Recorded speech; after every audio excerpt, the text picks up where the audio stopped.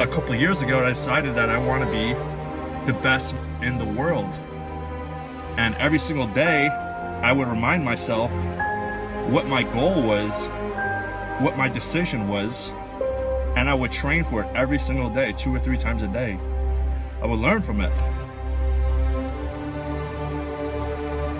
I place second, third, fourth, I know what I have to do. I have to get back in the gym and I have to train that much harder. Life is really what you put in, you're gonna get out. It's always like that.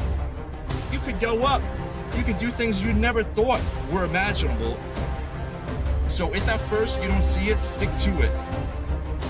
Decide with your heart, but really believe it and really live for it.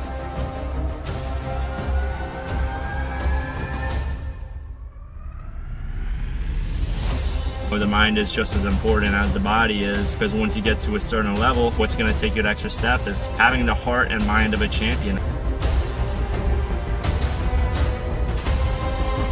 You only get a small chance in life to do what you want. And they just don't see your vision. You have an emotional drive that's deeper than anything else. It's deeper than money, it's deeper than fame, it's deeper than success.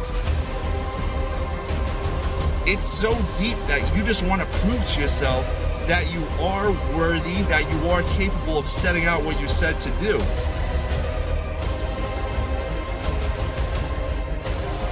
You got to really visualize and believe it with all your heart, even though that you're the only one who can see the dream. Don't listen to them. Prove them wrong and prove yourself right.